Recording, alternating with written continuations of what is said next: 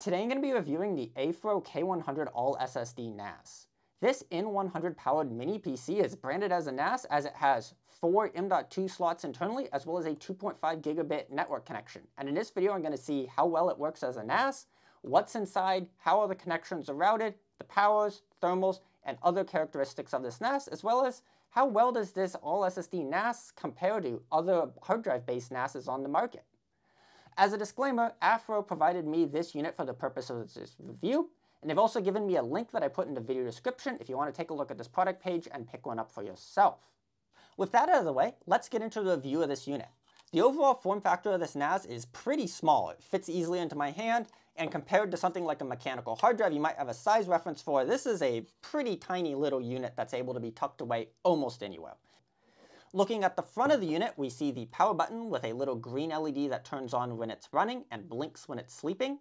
The side of the units are covered by air intake vents, one of which has a little white LED that blinks inside to show that there's disk activity going on. And moving over to the back of the unit, we can see where all of the I.O. for this unit is located, as well as an exhaust vent to get rid of the hot air. Starting from left to right, we have a 2.5 gigabit Ethernet port powered by a Realtek RTL 8125 NIC. Now that this NIC's been on the market for a little bit, it's been supported in Windows, Linux, and pretty much every NAS OS out there, including Unraid and TrueNAS. So it's pretty much plug and play 2.5 gigabit these days.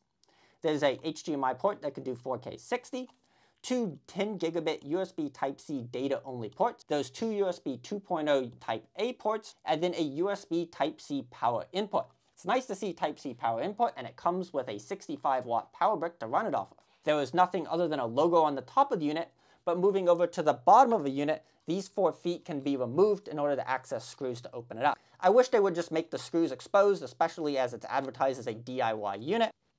With the four screws removed, I can remove the bottom plastic piece and see the heatsink for the M.2 screws. On the bottom of this little piece of metal, is four thermal pads that try to remove heat from the included four M.2 SSDs inside this unit. And overall, the cooling capabilities of this is pretty good. I used four different SSDs in testing to just kind of see what a variation in temperatures would look like.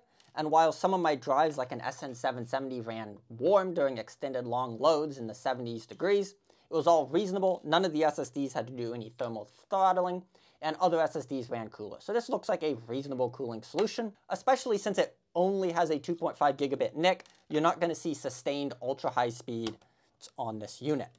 Once the heatsink is removed, I can see all four M.2 SSDs in this unit. The first thing I was curious about is what speed are these drives connected at? And these drives are all connected to the CPU with a PCIe Gen 3 by 2 connection, or roughly about 2 gigabytes per second maximum on all of these drives. I was curious how PCIe works in a little unit like this, as low-end processors like the N100 aren't known for having the most PCIe lanes. And it turns out the N100 has a total of 9 PCIe lanes. So with 2 going to each of these drives for a total of 8 PCIe lanes going to all the SSDs, the last PCIe lane was going to the Realtek 2.5 gigabit NIC using all the lanes on the CPU. And I ran some performance tests maxing out all of these drives at the same time with about six and a half gigabytes per second. So that means you can pretty much max out all the drives at once, which is pretty decent for a mini PC like this. And likely more than enough I.O. for almost any application a little mini PC like this could ever see. Once those screws are out, you can also completely remove the board from the system and see access to the cooling fan, which is actually relatively large for an N100 mini PC like this, and supplies more than ample cooling. By default, the N100 processor in the system is configured with a 25 watt PL2 or short-term power limit, and then a 15 watt PL1 or long-term power limit. So it'll shoot up to use a bit more power and then drop down to 15 watts of power consumption for as long as you have the load going on on the system. And it actually does that with pretty low temperatures. I never saw the system get over 60 degrees Celsius on the processor, and it sat at like 34 Celsius idle on this chip, which is pretty good temp, showing that this cooler is pretty good. So my first thought was maybe I can turn up the power limits to let the clocks get a little bit higher during sustained loads, as I have quite a bit of thermal headroom to go for. So I went into BIOS and tweaked things that said PL1 or PL2 power consumption and moved those numbers around. And this BIOS on the system has every option enabled, which normally I think is a good thing, but in this system is kind of confusing. There's multiple PL1 and PL2 power consumptions, and some options on this board that seem like they don't make sense relating to things like a battery for maybe a laptop that the BIOS was potentially designed for as well. So I asked their support for how do I configure the power limits on this system, and they say that's under fan control on the, on the first page. And if you want it under quiet mode, it has a 12 watt PL1 or sustained power limit. The default had a 15 watt power limit as I saw, and the high performance or loud mode had a power limit of 20 watts. And I went and adjusted those settings, and lo and behold, it changed performance a little bit. And here's some Cinebench and power consumption results in those different modes, and you can see that the processor power consumption goes up as the power limit goes up, and the performance goes up a little bit too. I just wish it wasn't linked to the fan speed on this system because there's a lot of thermal headroom and when it is running in the max speed, it's a little bit louder than I'd like and for presumably no reason to me as it seems like it has a lot of thermal headroom on this system. I would have loved to see the BIOS updated to unlink the power limits and the fan speeds, as well as potentially remove options that didn't seem to make sense or be used on this board just to make it simpler. Overall fan noise on this system was audible when your ear is right up next to it in a quiet room, but when you get more than about a meter or two away from the system, it fades into the background of a quiet room pretty quickly. And I'd say this system's fan speed is about comparable to other NAS units I've used. And unlike other NAS units that have mechanical hard drives, there's no seek sound. And I'd much prefer a barely audible fan over hard drives making no seek sound, which is much more audible in a room, I'd say typically. So fan noise isn't bad, but I think it could be tweaked and made better in the BIOS in my opinion.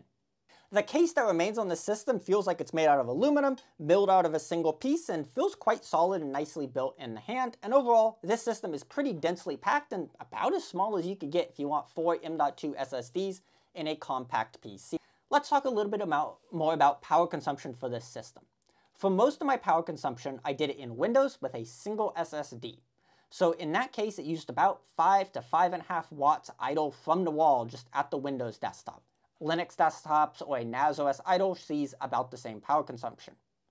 In its quiet mode or low power consumption mode under max CPU sustained load using Prime 95, about 14 watts on the wall in the normal 15 watt PL1 power consumption, and I saw about 19 watts on the wall in the 20 watt PL2 power consumption, which seemed a little bit odd for me that I was seeing lower power consumption off from the wall than reported CPU power consumption in tools like Hardware Info or the PL1 PL2 power consumption numbers, but it was also confirmed with the USB-C power meter, so maybe something's monitoring a little weird, but overall it did work about as expected, and the CPU, depending on workload, sat in the 2 some gigahertz range, with the low 2 gigahertz in quiet mode, but the higher 2 gigahertz when running lighter loads and with the higher power consumption settings, which means this N100 system is being essentially fully taken advantage of in this form factor with these power limits cooling, and power profiles on this system is not constraining the performance of the N100 processor.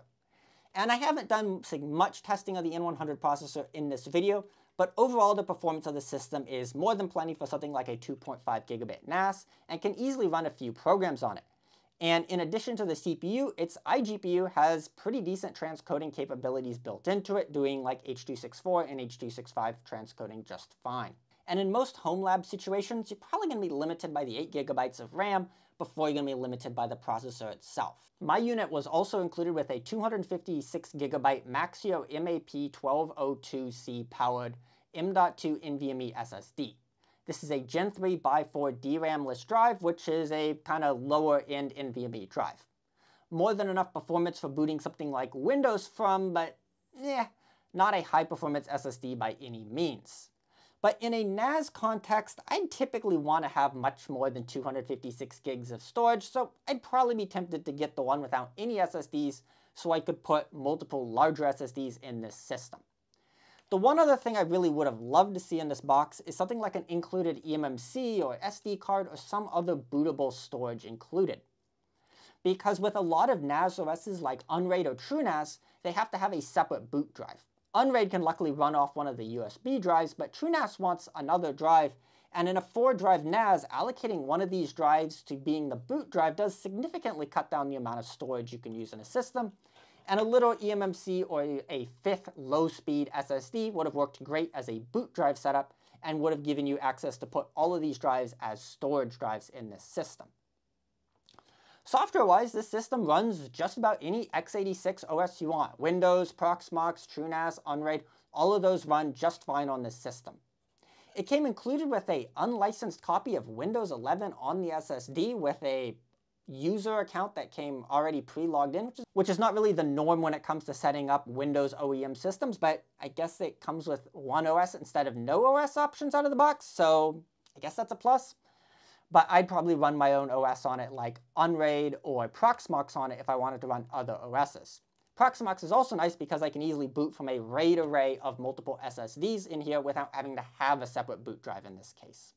I also did a little bit of performance testing, setting up a basic Samba share, a little RAID array of the included SSDs, and this system filled a 2.5 gigabit connection without any issues and happily copied files at 2.5 gigabit speeds, just plug and play with no additional configuration, as I would expect from this configuration here. Now, the next thing I want to talk a little bit about is does an SSD NAS like this make sense and kind of comparing it to going with a hard drive option. So in this kind of theoretical comparison, I'm going to just be using some price numbers I see in the US and just kind of seeing does it make sense, what does the pricing look like, and what are the pros and cons of going like with this compared to a more traditional hard drive based solution. So this system on the website is currently about 450 USD before any discounts with the 256 gigabyte included SSD. And the kind of best bang for the buck large M.2 NVMe drive on the market is 4 terabyte these days for about $220 for a lower end drive. So that puts us at about $1,330 for this configuration with I'd say 12 terabytes usable in a RAID 5 configuration. If I wanted a similar amount of storage with a similar amount of processors, network speed, and configuration in a hard drive based NAS, there's a few N100 powered two bay NAS units I can get for roughly $400, a fairly similar price that also have 2.5 gigabit networking, 8 gigs of included RAM, but instead of four M.2 bays, they have two 3.5 inch hard drive bays. With two 12 terabyte NAS drives that I'd run in a RAID 1 configuration for something equivalent, that would give me a total cost of about $880 for that, which does put this system at about $450 more than the hard drive based solution. So let's take a look at what the advantages are. First of all, speed-wise. While you get 2.5 gigabit on both, these SSDs should be able to fill 2.5 gig in a lot more workloads than the hard drives could. Hard drives can get over 2.5 gig speeds on their own, but if you're putting lots of random I.O. on it, or they're almost full, or they're fragmented, those speeds will drop much more than SSDs typically would. The other aspect is noise. Fan noise is probably going to be fairly similar between these units, but no seek noise is a big plus if it's going to be in a room that you're going to be near. But Really depends on your exact use case. Another aspect is power consumption. This unit with four drives installed running like Proxmox at idle is about 12 watts from the wall, maybe 10 watts of lower power drives. The dual 3.5 inch bay NAS would probably be about 20 to 25 watts with both of those hard drives spun up. So definitely a bit more power consumption from the 3.5 inch base drive NAS. And if I do the math to figure out how much this power consumption of maybe about 10 to 15 watts on average looks like in terms of cost savings, with a US average cost of about 12 and a half cents a kilowatt hour, that's about $66 over five years. But with the very high prices in something like California or maybe Europe at 50 cents a kilowatt hour, you might be thinking about $240. So the cost savings could add up after a period of time, but probably won't pay for the difference itself. So the way I see this NAS is if you don't need a lot of storage, and things like size and noise are a major factor when it comes to what you want, whereas having the cheapest possible storage, going all SSD can make a lot of sense. And I can see the cells for something like a form factor this small that could be tucked next to a normal home router, way out of the way, makes almost no noise, and uses very little power consumption. It's not going to be for the largest data hoarders who want hundreds of terabytes, as SSDs just still aren't that cost effective, but if you want a super small PC with lots of SSD space, it's hard to beat this in terms of size and power consumption. If I could make a few changes to this unit, I'd love to see the BIOS optimized with a few less options that don't make sense or document them better. Things like decoupling the power limits on the fan speed I think could help optimize and make this system even silenter than it is now.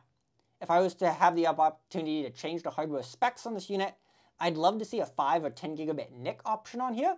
I think that would help better take advantage of the faster RAM, as well as a 16 gigabyte RAM unit, as that would give you the option to run a couple more VMs a lot better than 8 gigs, which is kind of being pushed to the limit with a lot of NAS OSs if you want a couple of basic apps running these days. Let me know what you think of this review and your overall thoughts of going all SSD for a NAS unit like this. Also, just a quick update for this channel, I'm probably going to do less reviews, especially those of where I get sent units in the past. Videos haven't had the best performance. I feel pressure to do them in a certain way, so I'm going to just stick to my normal, more talking about software and doing things I like more. Let me know on your thoughts on changing the channel a little bit this way, and thanks for watching this video.